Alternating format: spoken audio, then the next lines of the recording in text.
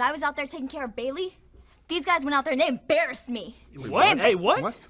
Yeah. Yeah. You embarrassed me. What? You embarrassed me because you went out there and lost when I literally handed you the keys to victory. Babe, you gotta just say. Don't babe me right now.